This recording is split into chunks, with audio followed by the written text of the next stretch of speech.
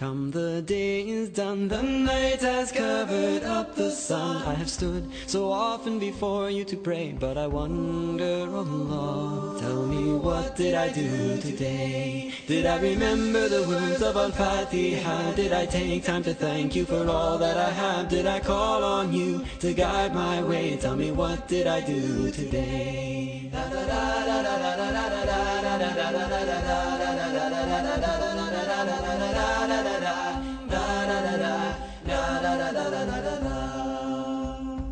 Bismillah, wassalatu wassalamu ala rasulillah. And welcome back to another episode of Back to Basics. I'm your host, Abdul Azeem Saeed, and we are fortunate enough to have back in the studio with us our special guest, Dr. Mamdouh Mohamed. Dr. Mamdouh, welcome. Thank you. It's always a pleasure to have you with us. For those of you who don't know, Dr. Mamdouh Mohamed is a former professor at Johns Hopkins University, and he is currently the director of Arrow for Consultancy and Training.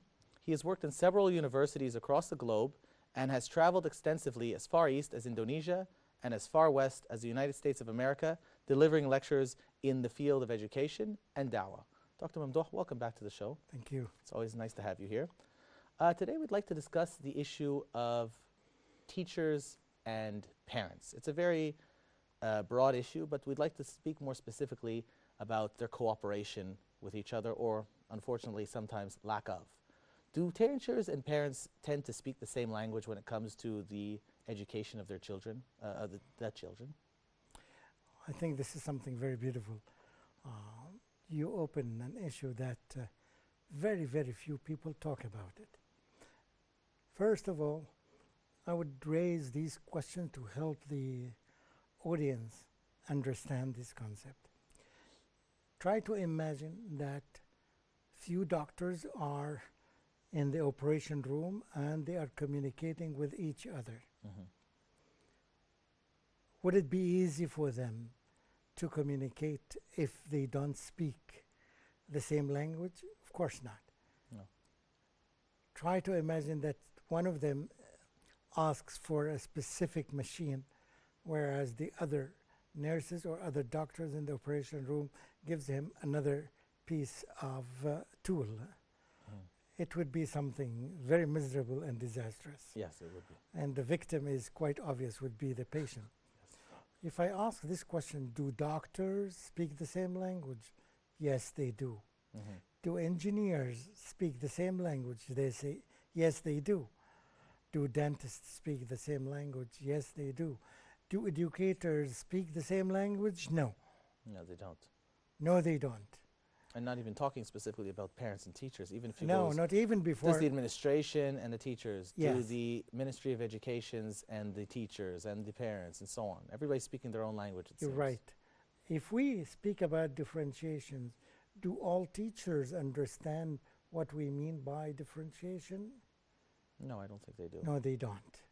In other words, there's some problems in the way they communicate with each other. Mhm. They don't understand each other. When I talk about any issue in education, particularly the specialized ones, you will find that teachers have not, are not communicating well. Some of them take the superficial meaning, some of them take the uh, expert meaning, some of them they are not communicating very well, and you can expect the result is not always consistent. Do you, by not communicating well, you, do you mean that they're still trying to work together, but they're failing at communicating their different needs? Yes, What about those who don't even work together at all? Again, we need to bring them to work together to know each one should know what's going on in other classes, Mhm. but at least the basic communication. When we say that curriculum, Mhm. do all teachers in the world understand the word curriculum as we understand it? Most of them now, they think that curriculum is an equivalent of uh, textbooks. Yeah. Which is totally something different. Perhaps 50, 15% of it is a textbook and the rest is not a textbook. Mhm. Yet still some people go with curricula as a textbook. Yeah. We tell the teacher curriculum includes this and this and this and this and and all the activities and the tasks and the trips and the videos and the, that you Yeah. show in the classroom. They say, oh no no no. So curriculum is more comprehensive than textbook, but not all the teachers know that.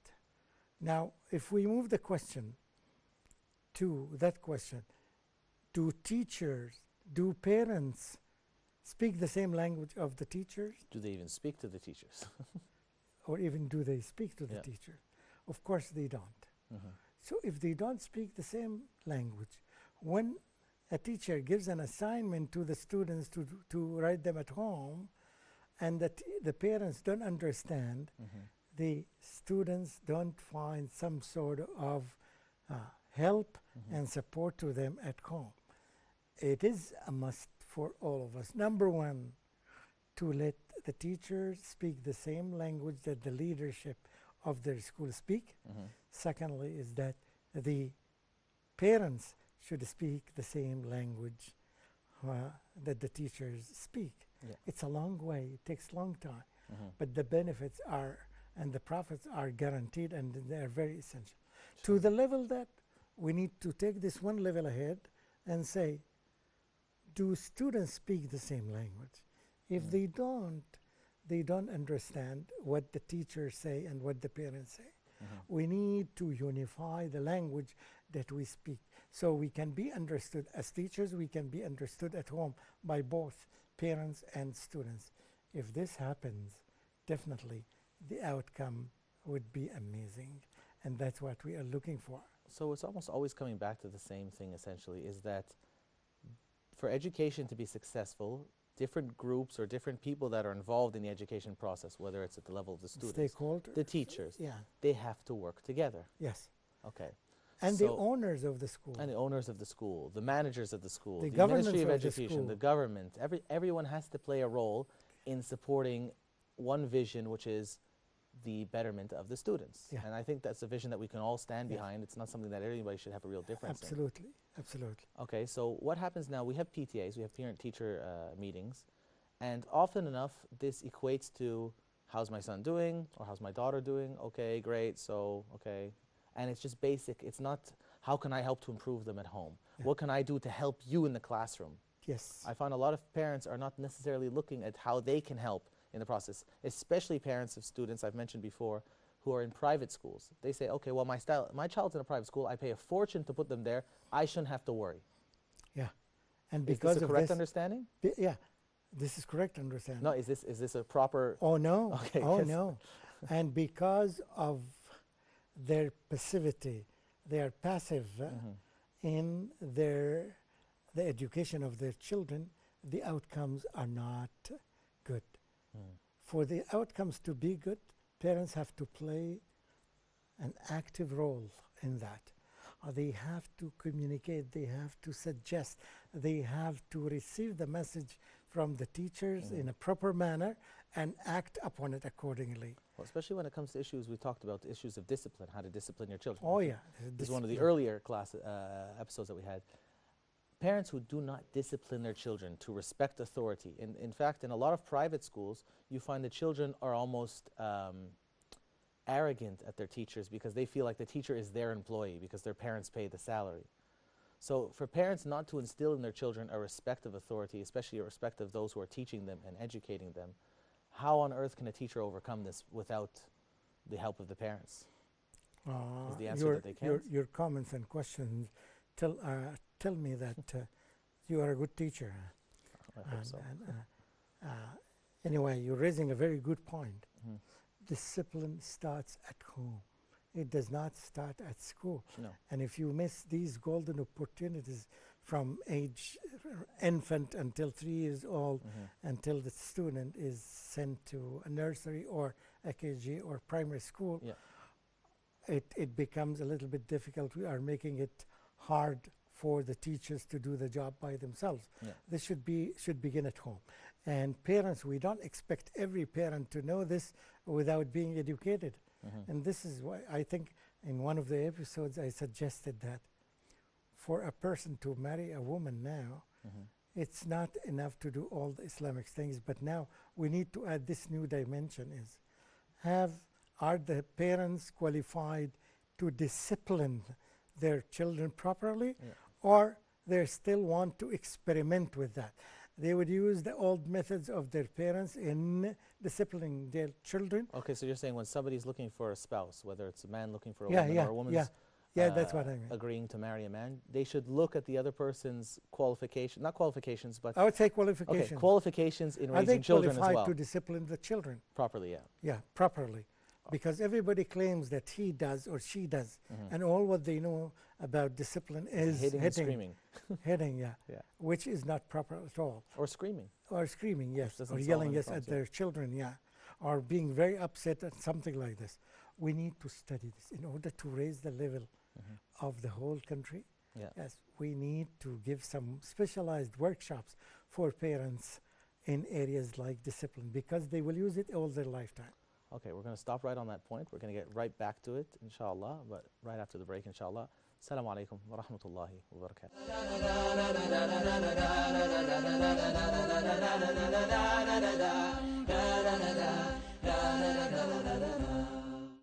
Huda TV's social media sites are the best way to contact us from anywhere around the world.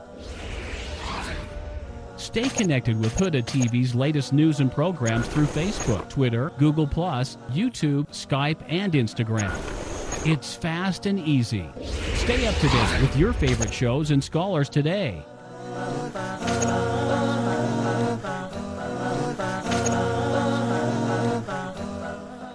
Huda TV, a light in every home. Huda TV is committed to helping others, so why not help Huda TV share the message of Islam worldwide? Take part in helping spread the authentic message of Islam based on the Quran and the Sunnah throughout the world by sponsoring Huda TV. Don't miss this unique opportunity to gain the reward from Allah. Bismillah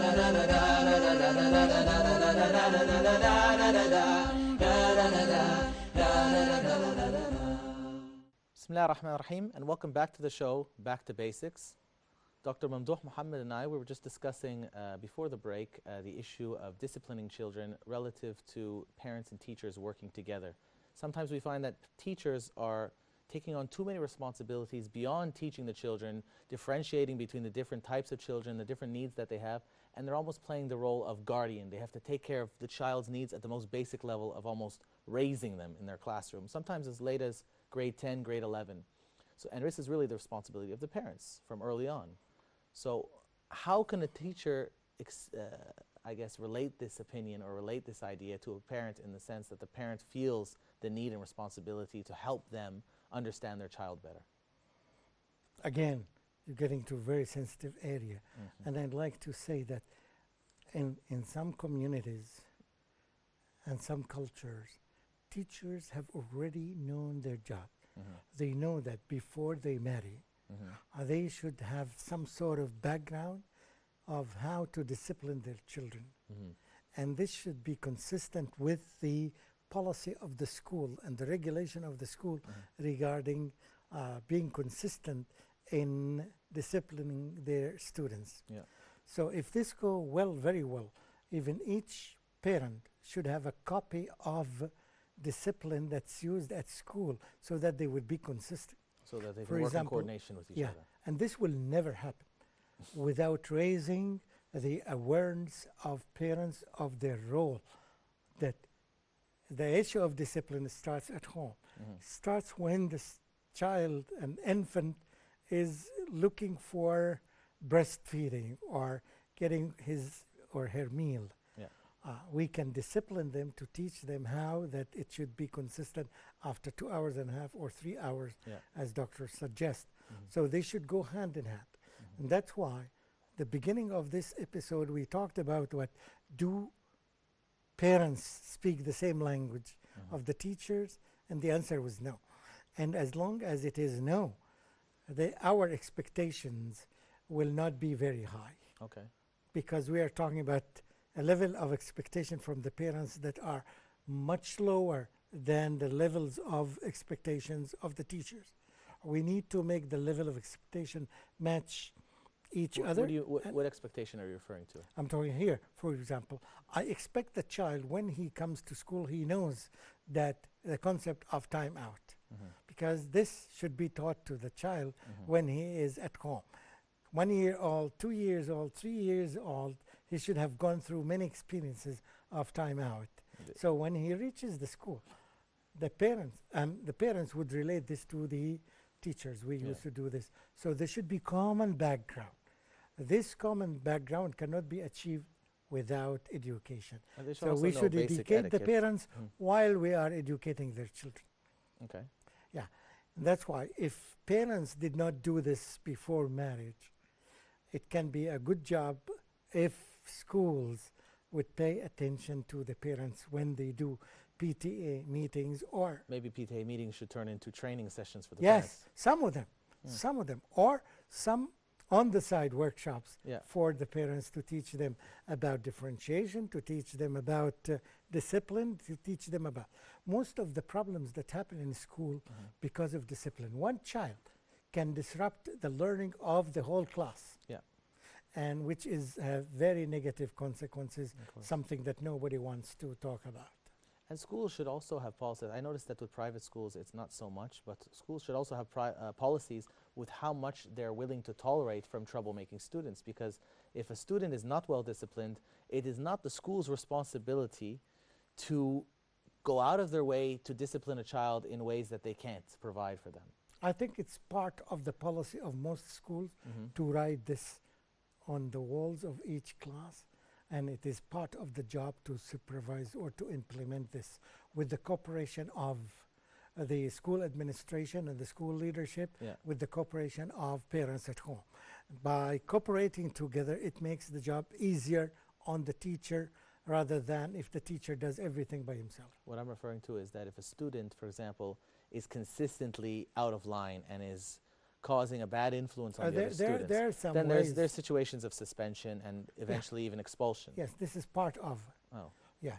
But unfortunately, you do find some schools they don't follow through on this because for one reason or another, especially private schools sometimes, Wow. they view it as this is the customer. The customer If- is always right. Uh, not in this case. no, not in this case. Not in this case, because part of the job of the school is to discipline Mhm. the children, and the school knows that whenever discipline is implied, is applied Yeah. in the class, in the school, this gives their school high rating, Mhm. and all school aspire for that. They die for this to have good ratings. Part of the good rating is this. So when we evaluate, when you when mention rating, you're talking about schools that are supervised and uh, and analyzed and so on. because part of the grade of inspection yeah. is about discipline. If the school does not have a good system of discipline, their grade goes from outstanding to good. What if the schools are not inspected though? If that, this is their problem, eh, Okay. they need to go a long way in order to catch up. yeah. And each school wants to be on the top. Mhm. Like this is the nature of human beings. okay. When you compete with others, you want always to be on the top. If you don't compete, if you have low expectations, low aspirations, uh, you want to live with the dead. So it's your choice. Okay. So overall, from what you've get, from what I've gathered from you today, is that you believe that the majority of teachers and parents don't speak the same language They don't. in most countries, or in some countries. I haven't seen all the countries, but in most mo- cases, you've seen in most the case. cases, it the, we don't. Educators, Mhm. in comparison with other professions yeah. like doctors and engineers, they don't speak the same language. We need to unify the language. We need to work uh, collaboratively in order to guarantee that we speak the same language as doctors do. Would you say that this is prominently a, problem in private schools or public schools as well? In fact, it's more common in public common in schools public than schools. private school. Okay. Most private schools, because they have money Mhm. and uh, they try to uh, offer better education, and that's why they do usually whatever is needed to Well, be I'm done. talking about, keep in mind, I'm talking about the main subject, which is the parents and the teachers, not just the educators. In public schools, we'll say that maybe the the educators teachers don't are the well. educators. In So you're saying in public schools, then parents do communicate better with teachers on average? No. Okay, so then the problems across the board, public and across private. Across the board, but in private school, the situation is always better. okay, Yes, because parents, when they invest the money, mm. They invest their time a bit more. they invest some time with it. Okay, But we want them to invest more time. okay. We don't want them to just throw money at the problem and throw think it's going to fix it. Okay. So as usual, we like to discuss the issues and the problems that may exist and the possible solutions. So one of the solutions we suggested was that parents themselves can be given workshops if they're up for it, even before they become parents. even before they become parents. Yes, that's very and good. this goes even before that. And that's why the Islamic approach is very unique in mm. that. A lot of people now join, go to the university, and after they graduate from the university, mm. they found the jobs that they are according to their specializations mm-hmm. are not good for their own life. Okay. Housekeeping now, you can get certificates in that, and part of it is disciplining the children. Mm-hmm. If a wife does not know that, who's going to do the job? Yeah. And that's why the number of delinquent students, kids, is getting more and more and more. The number of divorces is getting more and more and more. Yeah. And this is one of the reasons. People are going into marriage. Girls, when they go Yeah. to colleges and universities, they don't get proper education that helps them would do a better job when they marry. Mm-hmm. We as a society should direct and should guide the new generations about this issue, the selection of the college. Most of the people, they don't have selection. In fact, they, their grades decide that job. Yeah. And the coordination office, So if they get high grades, okay, they'll be a doctor, even if they don't specifically Yeah. like that field. I mean, Yeah. it's not it's not right. Some people are not interested in that, Yeah. and uh, But they go out- studying they go medicine is very reason. tough for them for such a long time, seven, eight years. Yeah. Yeah, there may be something better for them. I know some people uh, in my extended family, uh, they study, yes, art Hmm. and drawing. And for four years, for five years, this something may be good for people in the society, but not everybody should be an artist. No. Uh, they have something more important than this at home. Uh, they have the issue of raising, raising their children properly. Yeah. And part of this raising is disciplining. Mm-hmm. But if they don't know, they didn't take any course about that. Yeah. It can be a must for every. I find it interesting that schools tend to offer, especially in, uh, in Western nations, they tend to offer classes that are obligatory when it comes to issues of biology and, Yeah. and things like that. But they don't tend to offer uh, parenting classes that are obligatory. parenting classes, which is interesting. class, yeah, They'll offer courses about marriage classes. marriage I classes. think, I think They don't have this. marriage should have. I was some one time suggesting that every person who applies for marriage, yes, Should have to pass a course. for marriage, should have a course, and she should have a course. And this is the compatibility. We want to teach each one of them their rights and their duties. Well, if we look at the hadith of the Prophet ﷺ in which he mentioned that uh, to the youth, those of you who can marry should marry, Yeah. the key word that some of the scholars Can. focus on is can. It's not just a financial uh, It's not just a capability. It's that you're mentally, you're physically, you're ready for marriage, basically. And the compatibility in Islam. yeah. Compatibility includes the education. Mm-hmm. If he is qualified in being a father Mm-hmm. and she is qualified in being a mother, that means they are compatible in this Yes. Uh, aspect. Uh, we do we do invite people to take this matter seriously. Mm-hmm. Some time in the life of a human being, man or a woman, Mm-hmm. uh, they should take some courses in parenting and in marriage to qualify them for it. I'm quite sure in countries where they do this directly or indirectly, Mm-hmm. They take formal education or non-formal education about parenting and about marriage, Mm-hmm. they have successful homes than others. And we And lower divorce rates and so on. yeah. Yes, yes. And this would help the parents to communicate with teachers and they would be able to speak the same language, something that began with uh, in this lecture. Yeah. We want them to speak the same language Yeah, and that language is for the betterment, in the end, of their children. of their children. So, Yeah. with that, uh, inshallah, we'd like to just uh, finish the um, episode. But if you have any closing statement that you'd like to make, I wish that ministers of education and university rectors Mm-hmm. would consider this. I would say in high school, in one grade, grade 11 or grade 12, we should offer this course. We can call it pre marriage course, we can call it, uh, yes, parenting course, or we can make them two separate courses. Or and in college as well, we should offer it. So uh, engineers and doctors would know something about this.